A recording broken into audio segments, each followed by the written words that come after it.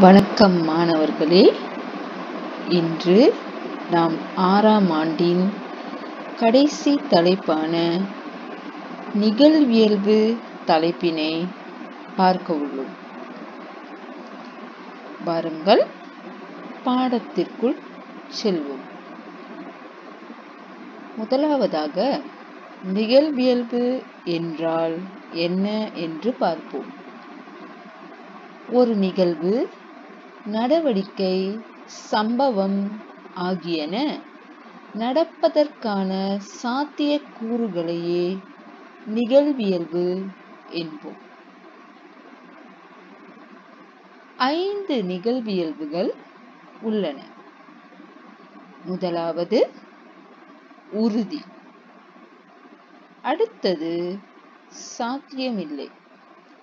தொடர்ந்து சம அளவிலான சாத்தியம். அடுத்து அதிக அளவிலான சாத்தியம். தொடர்ந்து குறைந்த அளவிலான சாத்தியம். ஆசிரியை உங்களுக்கு மீண்டும் சொல்கின்றேன். முதலாவது உறுதி. சாத்தியம் இல்லை. சம அளவிலான சாத்தியம். அதிக அளவிலான சாத்தியம் குறைந்த அளவிலான சாத்தியம். ஐந்து நிகழ்வியல்புகள் உள்ளன. சரியா மாணவர்களே? இதற்கான எடுத்துக்காட்டுகளை தொடர்ந்து பார்ப்போம்.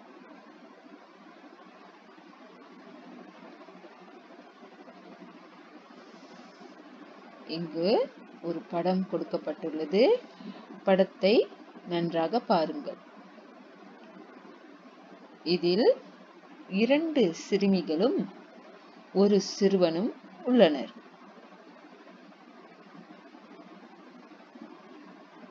கொடுக்கப்பட்ட தகவல் படத்தில் மூன்று சிறுவர்கள் உள்ளனர் என்பதாகும்.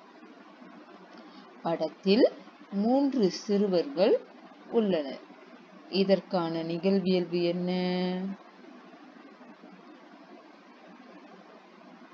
உறுதி என்பதாகும். ஏனெனில் படத்தில்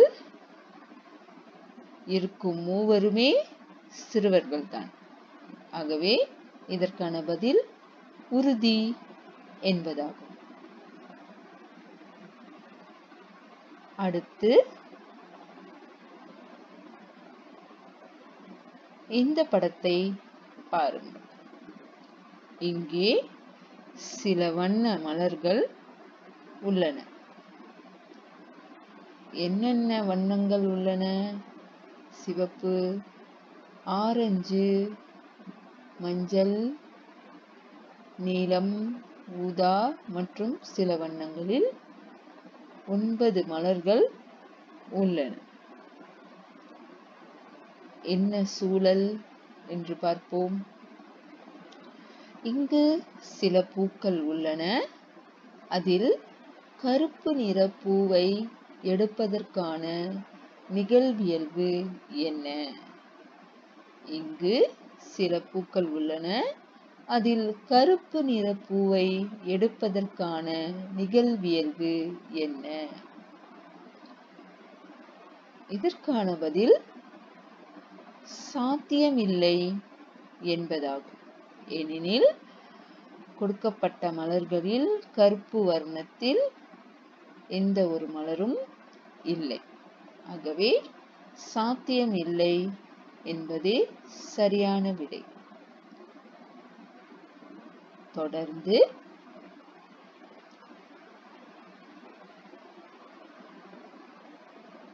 இங்கு ஒரு கலனில் சில பழங்கள் உள்ளன.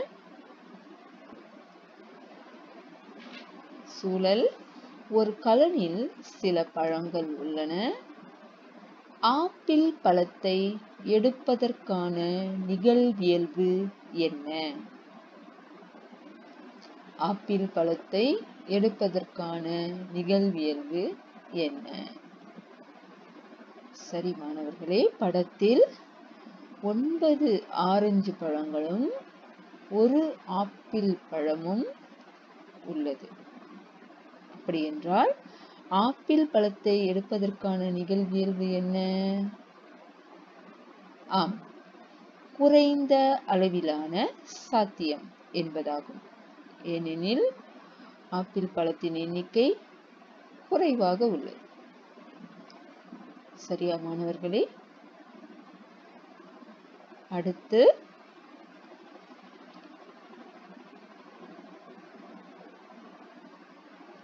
இந்த படத்தில் ஆறு பேனாக்கள் உள்ளன. அதில் மூன்று பேனாக்கள் சிவப்பு நிறத்திலும் மூன்று பேனாக்கள் கருப்பு நிறத்திலும் உள்ளன. என்ன சூழல் என்று பார்ப்போமா? சிவப்பு நிற பேனா கிடைப்பதற்கான நிகழ்வியல்பு என்ன? சிவப்பு நிற பேனா கிடைப்பதற்கான நிகழ்வியல்பு என்ன? சரி இதற்கான விடை சம அளவிலான சாத்தியம். ஏனெனில் கருப்பு வர்ணத்தில் மூன்று பேனாக்களும் சிவப்பு வர்ணத்தில் மூன்று பேனாக்களும் சம எண்ணிக்கையில் இருப்பதனால் இதற்கான பதில் சம அளவிலான சாத்தியம் என்பதாகும்.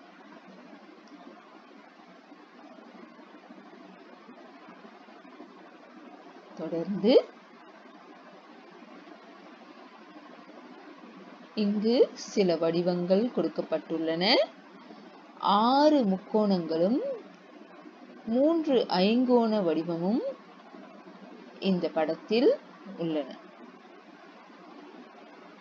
சூழல். ராமு முக்கோணத்தை எடுப்பதற்கான நிகழ்வியல்பு என்ன? ராமு முக்கோணத்தை எடுப்பதற்கான நிகழ்வியல்பு என்ன? இதற்கான பதில் அதிக அளவிலான சாத்தியம். ஏனெனில் முக்கோணங்களின் எண்ணிக்கை அதிகமாக இருப்பதனால் இதற்கான பதில் அதிக அளவிலான சாத்தியம் என்பதாகும். அடுத்து சில பயிற்சிகளை பார்ப்போம். திமிங்கிலம் முட்டையிட்டு இனவிருத்தி செய்யும். திமிங்கிலம் முட்டையிட்டு இனவிருத்தி செய்யும்.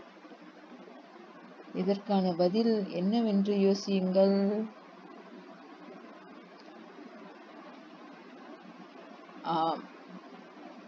சாத்தியமில்லை என்பதே மிகச் சரியான விடை.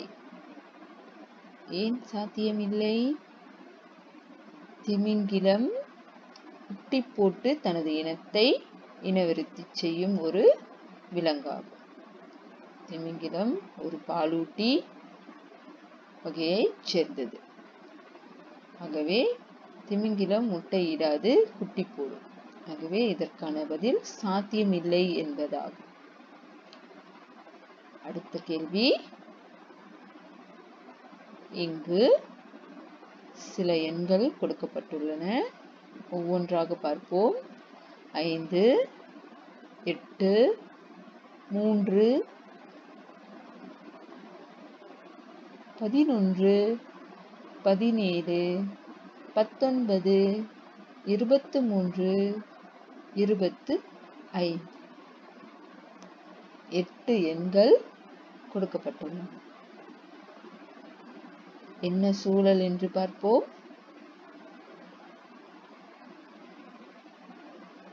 இதிலிருந்து பகா எண்கள் எடுப்பதற்கான சாத்தியம் என்ன? இதிலிருந்து பகா எண்கள் எடுப்பதற்கான சாத்தியம் என்ன? சரி மாணவர்களே. பகா எண்கள் என்ற தலைப்பை நாம் ஆறாம் ஆண்டில் முதலாவது தலைப்பிலேயே கற்றுள்ளோம். உங்களுக்கு ஞாபகத்தில் இருக்கும் என்று ஆசிரியை நம்புகின்றேன். ஒவ்வொரு எண்ணாக பார்ப்போம். ஐந்து பகா எண்ணாகும். ஐந்து பகா எண்ணாகும். அடுத்து மூன்று பகா எண்ணாகும். பதினொன்று பகா எண்ணாகும்.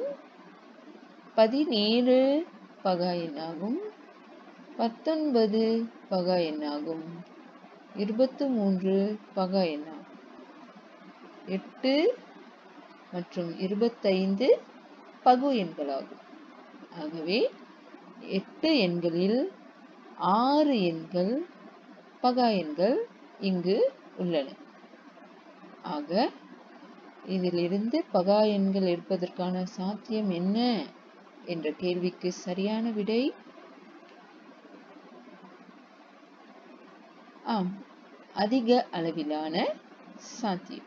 ஏனெனில் பகா எண்களின் எண்ணிக்கை அதிகமாக உள்ளது. பகு எண்களின் எண்ணிக்கை இரண்டு மட்டுமே உள்ளது. அடுத்த கேள்விக்கு செல்வோம். நாட்காட்டியை நன்கு கவனிக்கவும்.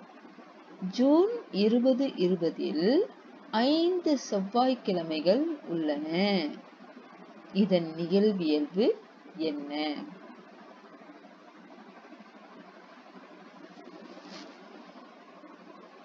ஜூன் மாதத்தில் முதலாவது திகதி ஒன்றாவது ஒன்றாம் திகதி திங்கட்கிழமை இறுதி திகதி முப்பதாம் திகதி செவ்வாய்க்கிழமையில் ஜூன் மாதம் முடிகிறது. சரி.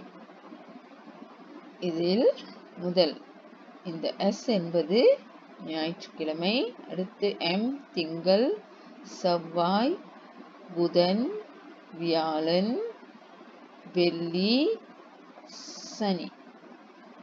சரி. கேள்வி ஐந்து செவ்வாய்க்கிழமைகள் உள்ளன. இதன் நிகழ்வியல்பு என்ன என்பதாகும். அப்படியானால் இங்கு ஐந்து செவ்வாய்க்கிழமை. இதுதான் செவ்வாய்க்கிழமை. ஐந்து செவ்வாய்க்கிழமை இருக்கின்றதா? இரண்டு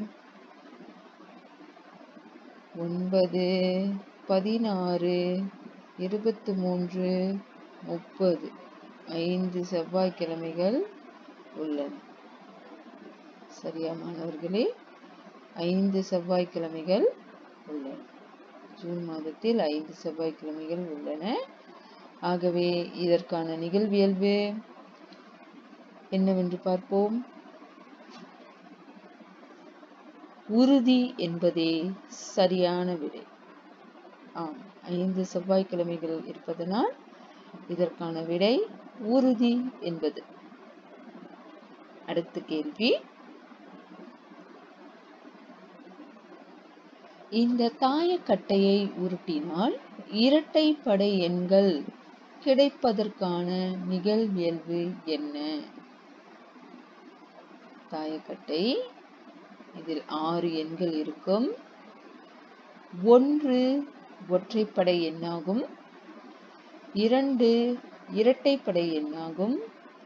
மூன்று ஒற்றைப்படை எண்ணாகும். நான்கு இரட்டைப்படை எண்ணாகும். ஐந்து ஒற்றைப்படை எண்ணாகும். ஆறு இரட்டைப்படை எண்ணாகும். தாயக்கட்டையில் இருக்கும் ஆறு எண்களில் மூன்று ஒற்றைப்படை எண்கள் உள்ளன. மூன்று இரட்டைப்படை எண்கள் உள்ளன. சம எண்ணிக்கையில் உள்ளன. அப்படியானால் இரட்டைப்படை எண்கள் கிடைப்பதற்கான நிகழ்வியல்பு என்ன? ஆம். சம அளவிலான சாத்தியம் என்பதே சரியான விடை.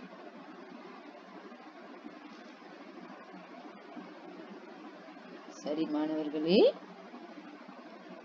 நாம் பாடத்தின் இறுதி கட்டத்திற்கு வந்துவிட்டோம்.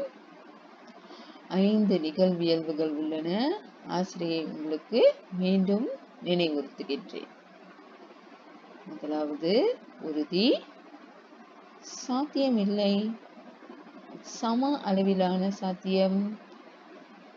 அதிக அளவிலான சாத்தியம். குறைந்த அளவிலான சாத்தியம். சரி மாணவர்களே. இத்தோடு இன்றைய பாடம் ஒரு நிறைவை நாடுகின்றது. உங்களை மீண்டும் வேறொரு பாடத்தில் ஆசிரியை சந்திக்கின்றேன். நன்றி. மீண்டும் சந்திப்போம்.